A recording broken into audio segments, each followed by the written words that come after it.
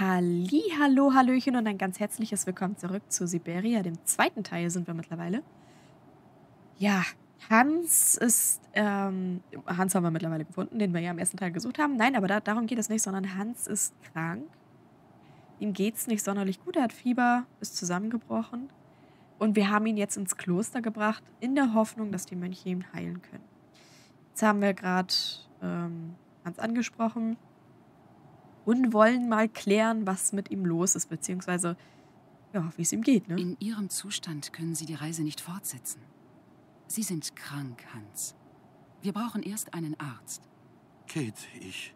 Ich muss nach Siberia.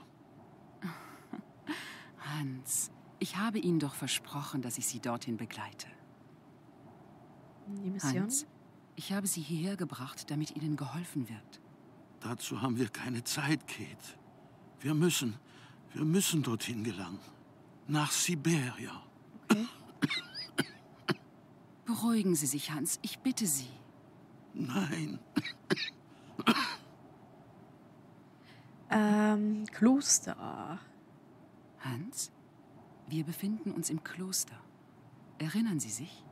In Valladolid ist es 19.15 Uhr. Vater ist immer sehr pünktlich. Er bleibt nicht mehr bei uns. Er kehrt zur Manufaktur zurück, verschwindet in seinem Büro und Nein, Hans. In Valladolid sind Sie geboren. Jetzt sind wir im Kloster von Romansburg, weit weg von Valladolid. Hier werden Sie geheilt werden. Alexei, suchen Sie Alexei Tukjanov. Alexei Tukjanov? Alexei, er, er hat bei den Yukol gelebt. Er kann mir helfen. Okay. Ja, genau. Das ist toll. Gespräche belauschen, ne? Äh, ich, ähm. Ich schließe bin bald mal. wieder zurück. Gut. Ich habe nämlich nicht so große sonderliche Lust, dass der unsere Gespräche belauscht. Genau.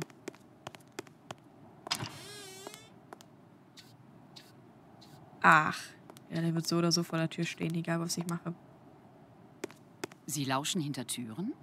Lauschen? Äh, nein, ich mache nur sauber. Ja, genau. Mm, Ich habe eben mit Hans gesprochen.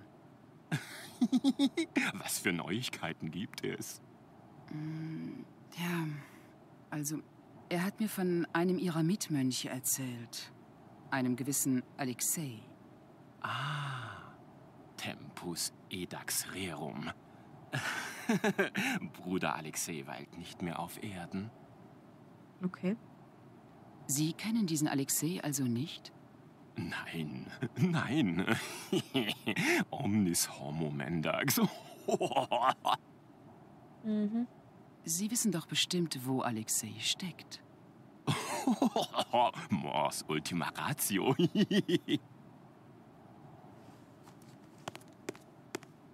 Ähm, ähm, ähm.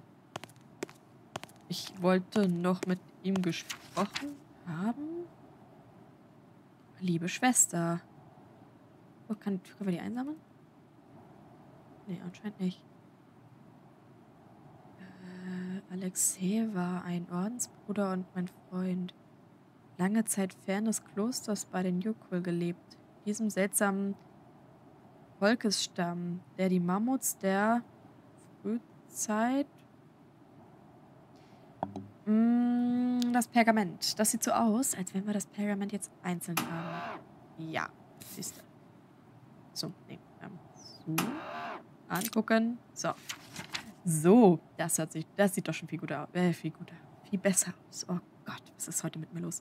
Äh, diesem seltsamen Völker, Völkerstamm, der die Mammuts der Frühzeit als Götter verehrte. Ich bin alles andere als ein gelehrter Mönch, aber ich habe oft genug zu unserem Herrgott gebetet, um zu wissen, dass dieser vielerlei Gestalt annehmen kann. Denn die Vorstellungskraft der Menschen, die ihn verehren, ist nahezu unerschöpflich. Dies wird ihnen gefallen. Sie finden den Schlüssel im Licht des Mammutauges. Das. Im Licht Okay. Ähm, jetzt könnten wir aber rein theoretisch weiter mit Hans reden. Das werden wir auch einfach mal tun. Hm, Hans, jetzt werden wir nicht mehr Hans? belauscht. Hm? So. Wer ist Alexei? Ein alter Mönch, ein Freund. Er kennt die Heilkunst der Yukol. Warum soll ich den Mönch Alexei finden? Alexei, er, er kann mir helfen. Okay. Aber äh, seien Sie vernünftig. Niemand kann Ihnen hier besser helfen als der alte Patriarch. Oh, Alexei, er kennt sich in der Heilkunst der Yukol aus. Der alte Patriarch, er ist ein Dummkopf. und vor allem hat der Hans schon lange aufgegeben. Sie glauben also wirklich, dieser Mönch könne Sie heilen? Alexei, er behandelt nach Art der Schamanen. Die, die Schamanen sind genau richtig für mich. Okay. Sie scheinen den Yukol bedeutende Heilkräfte zuzuschreiben. Die Magie der Yukol-Schamanen ist sehr wirksam. Aber Hans, Sie wissen doch selbst, dass das nur Hokuspokus ist. Die Yukol verfügen über großes Wissen, Kate. Großes Wissen. Ich bin bald wieder zurück. Gut. So, dann, äh, ja. Gucken wir mal uns weiter um. Wir haben ja anscheinend aus Versehen sofort den richtigen Weg gefunden. Zumindest, dass Hans hier hochgebracht wird. Okay. Dann stecken wir einfach eine Bürste ein. Ich habe noch keine Ahnung, wofür sie die brauchen. Warum sie den Eimer nicht mitnimmt, keine Ahnung. Ich glaube, mit uns reden wird hier keiner.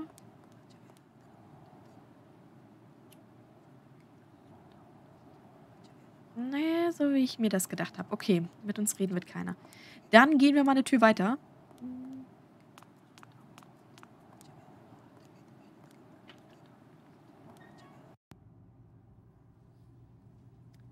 Ja, hier ist bedrückte Luft.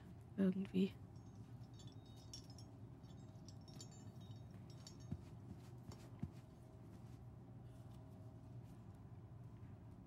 An der Seite ist nichts. Geht nur weiter runter. Geh erstmal runter. Und dann gucken wir mal, was wir hier so anstellen können. Ähm.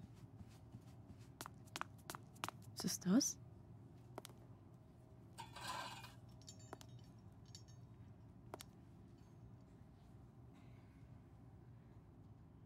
Ach, Herr Jemine, was ist.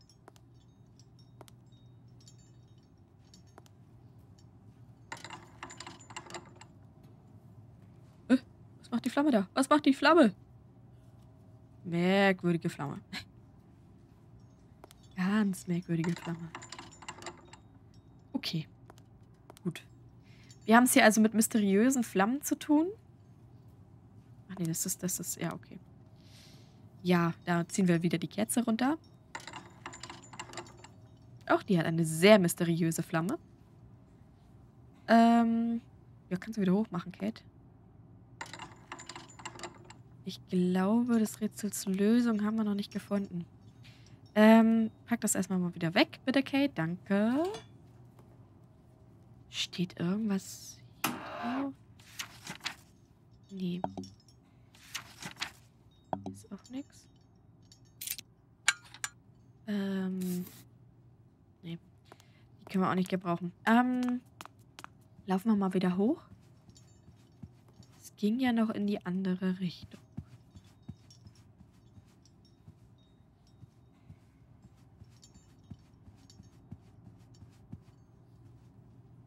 Auch hier ist nichts.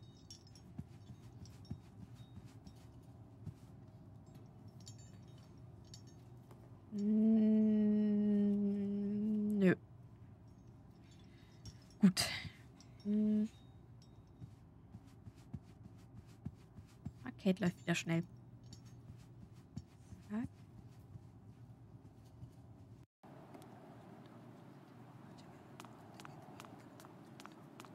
Gut, also.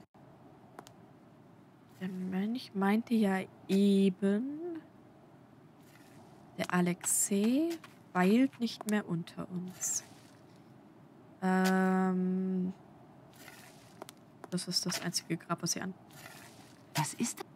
Was ist? Was ist? Was ist das denn? Ja, das ist, äh, aber damit geht das nicht, ne? War klar. Okay. Aber ich sehe hier schon, ja, könnte, könnte. Könnte es sein. Ich denke auch, dass es das sein wird. Bei diesem Sarg bekomme ich Gänsehaut. Mhm. Hm. Eine echte Mönchsarbeit. Okay, gut. Dann haben wir nichts weiter. Doch, bei dem Riss eben war irgendwas noch zu sehen. Kate, da lang. Kate, was machst du da? Danke.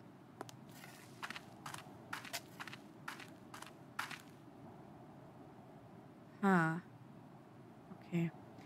Ist auch nicht wirklich was, was wir finden. Recht steil. Huh, recht steil. Aber mit einem Schlitten könnte man es nach unten schaffen. Okay. Das hört sich sehr nach einem Satz an, den wir später noch brauchen werden. Äh, beziehungsweise an den wir uns später noch erinnern werden. Sowas ist ja nicht ohne Grund in äh, so ein Spiel eingebaut, ne? So, gucken wir mal hier weiter. Ähm, wir brauchen irgendwas, um diese, diese Ranken wegzusch... Die war eben noch nicht da, oder? Ja, okay. Alles klar.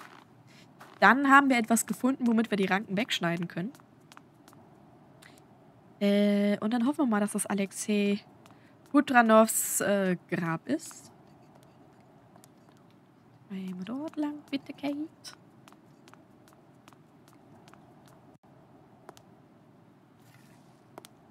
Hm, Ach nee, da lang war das. Stimmt. Und zwar hier. Hm, Zack, Schere. Schnipp, schnapp, schnipp, schnapp.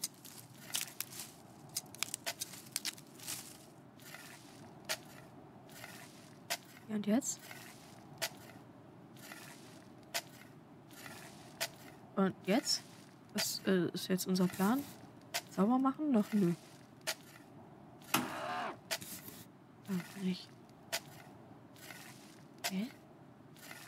Moment mal. Kräuter und Brombeersträucher?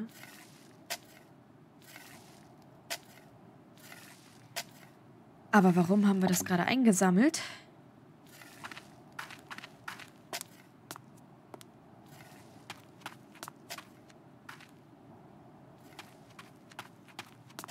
Hm. Werden wir wohl noch herausfinden, bin ich ganz stark von überzeugt.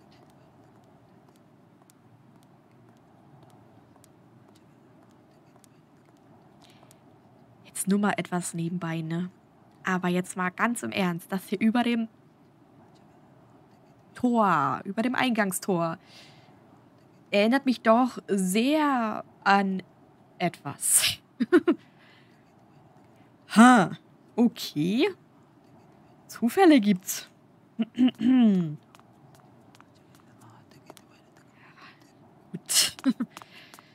ähm, wir gucken mal hier weiter. Hier gibt es hier noch so Dinge, die man machen kann. Glaube. Können wir ein paar Münzen hinlegen? Nee, geht leider nicht. Okay. Das geht auch nicht. Einen Schlüssel können wir nicht hinlegen. Eine Schere. Brauchen wir auch nicht. Okay. Eine Bürste? Nein, auch nicht. Streichhölzer geht. Möchte mir die Kerze anmachen? Nein. Okay. Eine Idee habe ich tatsächlich noch. Und zwar, wir haben ja eine Bürste eingesammelt. Warum auch immer zur Hölle wir eine Bürste eingesammelt haben.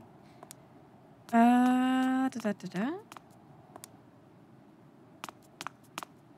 Vielleicht soll das Ding hier oben auch einfach nur die Männlichkeit unterstreichen, die hier äh, anscheinend nur im Kloster vorhanden sein darf. Na, wer weiß, wer weiß. Gut, ähm. So. Und zwar eine Idee habe ich noch. Wir haben doch gerade diese Bilder hier gefunden. Ganz genau die hier. Was passiert, wenn wir die mit einer Bürste. Geht nicht. Okay. Was? Ja, tolle Arbeit. Genau, Kate. Wir müssen irgendwie an den Schlüssel kommen. Was? Oh Jemini, das geht tatsächlich. Ja, genau. Zerstör mal die Arbeit, Kate. Ist ganz toll. Wird auch keiner merken. Ach. Moment mal, das muss ich mir aufschreiben.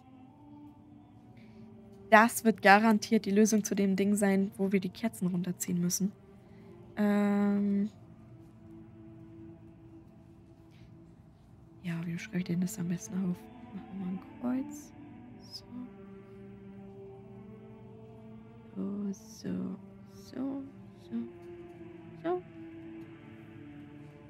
So, das erkenne ich als Kreuz. Sehr gut. Hier oben haben wir einen hellen Kreis. Dann kommt ein dunkler Kreis. Dann kommt noch ein dunkler Kreis. Dann kommt ein heller Kreis. Dann kommt noch ein heller Kreis. Dann kommt ein dunkler Kreis. Noch ein dunkler Kreis. Noch ein dunkler Kreis. Ein heller Kreis. Ein heller Kreis. Und ein dunkler und ein dunkler. Okay, ich hoffe, er versteckt das auch dort. Egal. Hm. Ich glaube, ich weiß sofort, womit ich das verbinden kann. Und zwar, wie gesagt, drüben. Hier.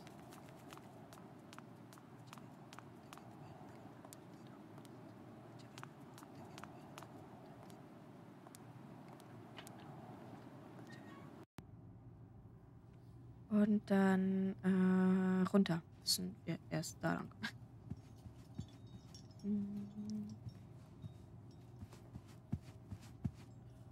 Kerze war so auffällig gerade. Und zwar müssen wir dann hier wieder das Ding nehmen. Ich habe ja hier unten auf dem Boden tatsächlich auch das Kreuz gerade gesehen. Hier, das hier. Ähm, ich denke mal, so müssen wir auch denken. Und zwar das hier. Ich hoffe, der helle Kreis ist dann halt auch... Die Kerze ist an quasi. Also die Kerze ist hell. Mit der gruseligen Kerze. Äh, zwei freilassen, dann... Hier.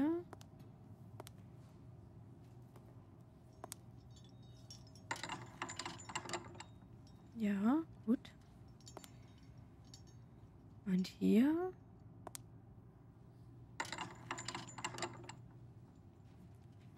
Dann drei freilassen. Ne? Ja, genau. Eins, zwei, drei und... Ja, es könnte hinkommen. Das sind genau gleich viele Punkte. Wie bei dem Ding, was ich eben abgeschrieben habe. Und hier.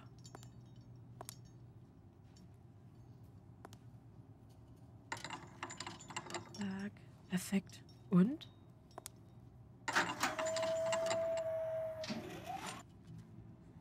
Ach. Na, guck an. Haben wir es also richtig gemacht. Okay, perfekt. Ähm, also schnell wieder hoch.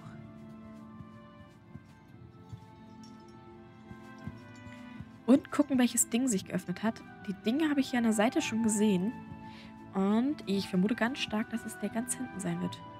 Nee, der ist es nicht. Na, habe ich mir doch gedacht. Okay, gut. Guck von da aus sehen wir die Lok. Cool.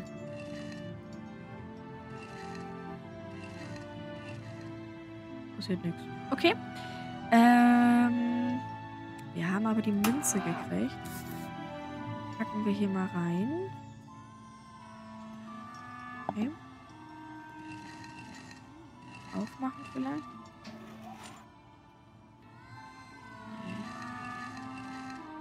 So rum. Ist die Münze da noch drin? Ja, okay. Jetzt geht es nur darum... Das hatten wir schon, ne? Das aufmachen. Also es verändert sich ja was. Ja, perfekt.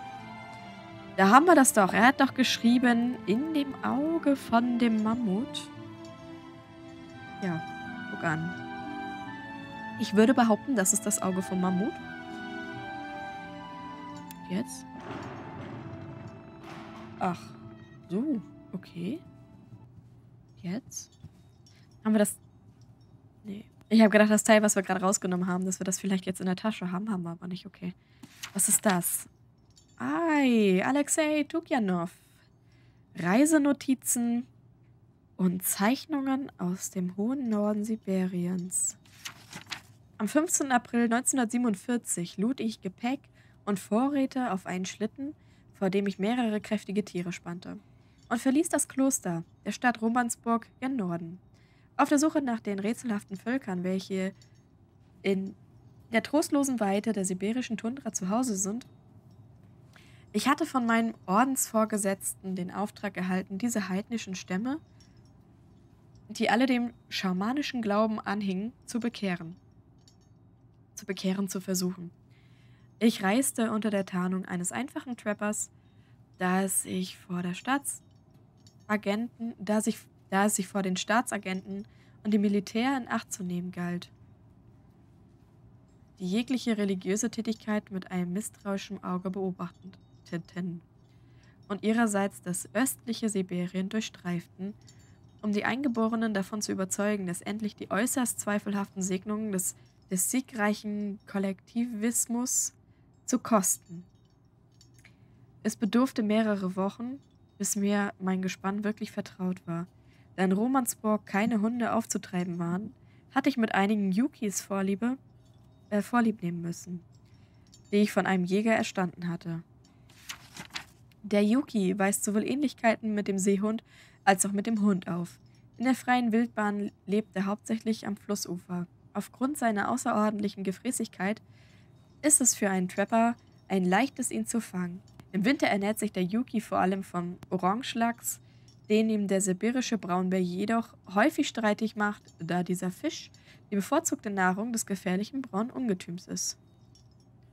Ui, süß. Ah, den Yuki haben wir ja schon gesehen. Ist er erst einmal gezähmt, so erweist sich der Yuki als ein anhängliches, aber kapaziöses Tier. Er widersetzt sich jeglicher ernsthaften Abrichtung und wird nur dann als Schlittenhund eingesetzt, wenn kein richtiger Hund zur Verfügung steht. Gewisse arktische Völker scheinen jedoch hinter das Geheimnis seiner Dressur gekommen zu sein. Denn nur so ist es wohl zu erklären, dass diese Tiere bei ihnen große Verwendung findet. Von allen Völkern, die in diesen gottverlassenen Gebieten lebten, äh, galt mein Hauptinteresse zu zweifelsohne den Yukol. Wen wundert es also, dass sich meine Schritte dorthin lenkte, wo ich davon ausgehen durfte, auf sie zu stoßen? Ritenmaske der Yukol verkörpert den Seelenfährmann, der die Sterbenden ins Jenseits begleitet. Sie flößt den Yukol große Angst ein. Die Reise gestaltet sich langwierig und gefährlich. Erst am 27. Oktober 1947 gelang es mir, mit den Yukol in Kontakt zu treten. Ich weilte mehrere Monate lang unter ihnen, machte mich mit ihrer Lebensweisheit vertraut, äh, mit ihrer Lebensweise vertraut und lernte sie dafür zu schätzen, was sie waren. Sehr schnell schon verwarf ich jegliche Bekehrungsabsicht und begnügte mich damit, ihre Sitten und Gebräuche zu studieren. Die Yukol sind eines der am wenigsten erforschten Völker des hohen Nordens. Sie leben heute in einer weit abgelegenen, eisigen Region im nördlichen Sibirien. Die geografischen Entfernungen und die extrem klimatischen Bedingungen sind sicherlich der Grund dafür, dass sowohl die Forschung als auch die sowjetischen Behörden sich bisher nur wenig mit den Yukol befasst haben. Und so konnte ich vor meiner Reise lediglich einige wenige Skizzen, Notizen und Fotografien studieren, die die russische Forscherin Marie Baudrinow vor rund 100 Jahren angefertigt hatte. Ihr verdanken wir heute einen Großteil dessen, was wir über das Volk der Yukol und deren Kultur wissen. Die Ursprünge der Yukol reichen in die letzte Eiszeit zurück. Inter interessanterweise gibt es auch in Westeuropa Spuren ihrer Zivilisation genauer gesagt in den vorgeschichtlichen Höhlen der Stadt Valladolid, tief im Herzen der französischen Alpen. Welch eine Überraschung. Daraus kann geschlossen werden, dass dieses Volk im Laufe der Jahrhunderte eine lange Wanderung in den extremen Norden unseres Globus unternommen hat. Heilige Schneeeule. Dieser Vogel wird oft als Begleiter der Yukol-Schaman angesehen. Er scheint sowohl als sein Gehilfe als auch als Repräsentant, als Repräsentant und sogar als seine Reinkarnation betrachtet zu werden. Schamane, okay. In den weiten Ebenen Siberias wimmelt es nur so von Lemmingen. Sie ernähren sich von Samen und kleinen Früchten, die sie in ihrer Behausung, äh, die sie in ihren Bauten horten, um den Winter zu überstehen. Der Lemming gräbt tief Stollen ins Eis, um seinen Feinden zu entkommen. Seine größte Bedrohung stellte die Schneeeule dar, zu deren Lieblingsspeisen erzählte. Oder erzählt. Immer noch. Im Laufe meiner Reise bin ich mehrere Male auf vorgeschichtliche Spuren gestoßen, die darauf hindeuten, dass die Yukol ehemals viel weiter westlich angesiedelt waren, als es heute der Fall ist. So fand ich zum Beispiel an Wegrändern kleine geschickt errichtete Steinhaufen, die den Yukol-Jägern bei ihren Opferriten zugunsten heidnischer Götter als Altar dienten. Der Grund für die lange Wanderung der Yukol liegt auf der Hand. Allem Anschein, Anschein nach beruhte ihre Zivilisation ausschließlich auf den Mammuts. Diese waren Reit- und Lasttiere und lieferten gleichzeitig Fleisch, Haut, Fett und Elfenbein. Zweifelsohne handelt es sich hier um eine perfekte Symbiose zwischen Mensch und Tier. Als die Mammuts aufgrund der klimatischen Veränderungen in andere Gefilde ausgewandern mussten, sind die Yukol ihnen also bis in den hohen Norden Sibiriens gefolgt. Bestimmte Höhlenmalereien, die als Yukol-Malereien identifiziert wurden, ließen bereits die Hypothese zu, dass es den Yukol gelungen war, die Mammuts zu zähmen, sie in der Tat unseren Kenntnissen nach das einzige vorgeschichtliche Volk, das Darstellung eines auf einem Mammut reitenden Mannes hinterlassen hat. Das Leben der Yukol war also eng mit dem dieser Dickhäuter verbunden. Aus dem Fell wurden nicht nur die Kleider, sondern auch die Dächer und Mauern der Häuser hergestellt. Die Stoßzähne bildeten die Struktur der Behausungen und dienten der Herstellung von Waffen, Werkzeugen und Schmuck. Erstaunlich ist, dass sich mit dem Aussterben der Mammuts vor 12.000 Jahren die Lebensweise der Yukol ganz offensichtlich nicht sofort geändert hat. Es scheint, als habe sich die enge Bindung zu den Mammuts noch über Jahrtausende hinweg fortgesetzt. So erstaunlich dies auch sein mag, Yukol ernähren sich auch heute noch von Mammutfleisch und fertigen weiterhin Kleidung und Dächer für ihre Behausungen aus Mammutfell an. Und was ihre künstlerischen Objekte aus Mammutelfenbein betrifft, so sind diese schlechthin beeindruckend. Wir können also davon ausgehen, dass die Yukol es über Jahre hinweg verstanden haben, die unzähligen toten Mammuts, die in, einer perfekt erhaltenen, die in einem perfekt erhaltenen Zustand im gefrorenen Boden Sibiriens äh, ruhten, als Ressourcen zu nutzen und so ihre traditionelle Lebensweise fortzusetzen.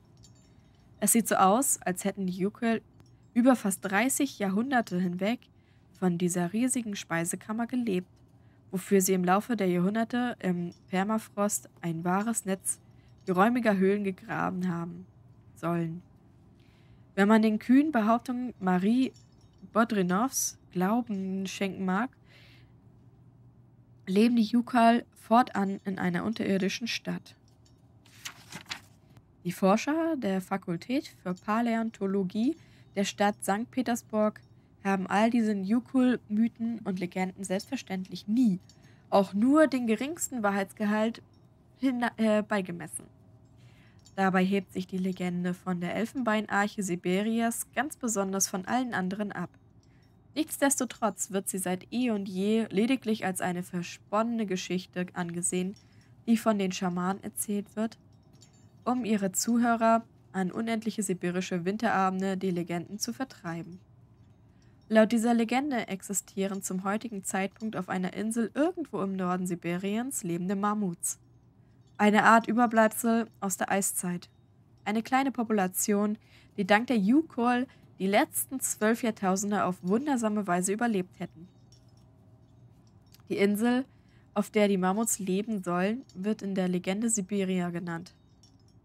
Ich füge meinen Notizen eine Fassung dieser Legende bei, die ich den Memorien Marie Bodrinovs entnommen habe. Sie entspricht in jederlei Beziehung den Erzählungen der Yukol, deren Bekanntschaft zu machen mir bescheiden war. Er mir beschieden war. Auch wenn diese Geschichte keinen Beweis für die Existenz der Insel Siberia darstellt, so bietet sich doch den Nährboden für eine äußerst verlockende Hypothese. Blaugras? Stimmt, das ist das, wovon die geredet hatten. Blaues Gras. Scharlachroter Brombeerstrauch. Im Herbst duften seine Blüten so stark, dass sie selbst einem Yuki aus dem Winterschlaf wecken würden.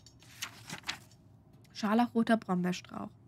Diese Pflanze findet in Verbindung mit Seehundfett oder Talg häufige Verwendung in der Heilkunst der Yukol.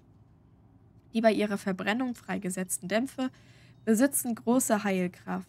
Den Schamanen zufolge wächst diese Pflanze auf den Gräbern derer, deren Seele in Frieden ruht.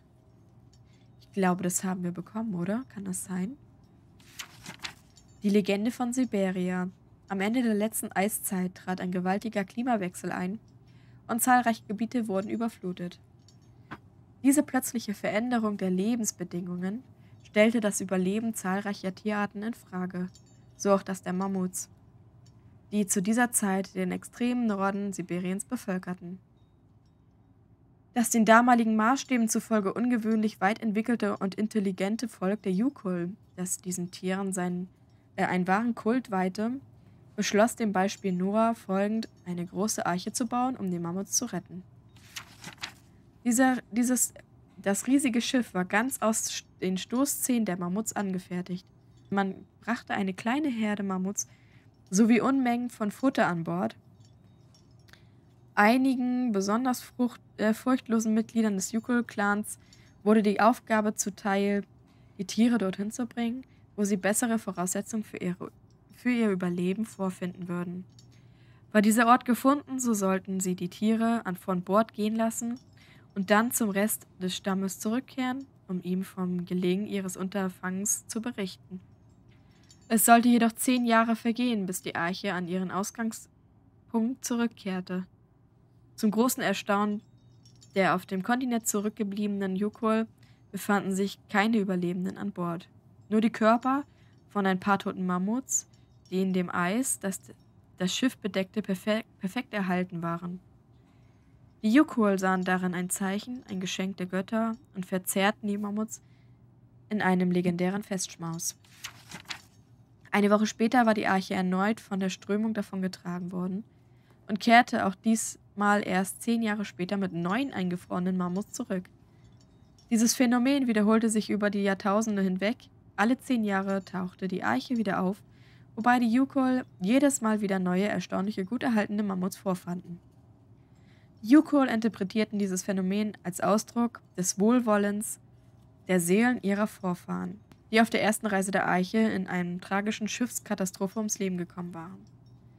So entstand eine Religion mit ihren Ritualen und Gebräuchen, in deren Zentrum die regelmäßige Wiederkehr der Geister, des Geisterschiffs mit seiner wertvollen Ladung stand. Nichts schien sich über die Jahrhunderte an dem mysteriösen Hin und Her der Eiche zu ändern. Eines Tages aber, vor etwa 100 Jahren, kehrte die Eiche früher als etwas früher als erwartet zurück. Und sie war leer. Diese armen Yukol waren zutiefst verwirrt. All das, woran sie glaubten und worauf sie ihre jahrtausendalte Kultur aufgebaut hatten, verlor auf einmal seinen Sinn. Die Gläubigsten unter ihnen hielten verzweifelt an ihrer Hoffnung fest, zumal die Eiche in Abhängigkeit von den sich mit den Jahreszeiten umkehrenden Meeresströmungen noch einige Jahre lang ihr Hin und Her zwischen dem Kontinent und dem Unbekannten fortsetzte. Aber dann mussten sie feststellen, dass die Arche schließlich nicht mehr davon getragen wurde. Zahlreiche Yukol verließen daraufhin ihr Dorf und durchquerten tief verzweifelt die Tundra.